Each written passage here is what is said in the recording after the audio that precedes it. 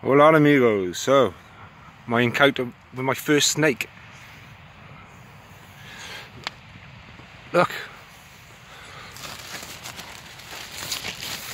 It's my first snake I've seen in Spain. Look.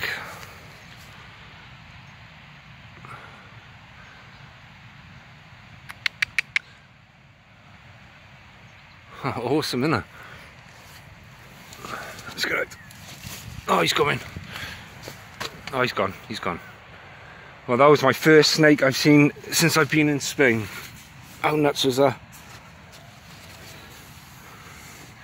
I just sat here chilling. I thought, what's that moving there?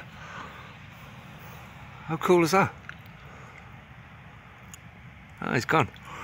Oh, that was crazy. Anyway, adios amigos.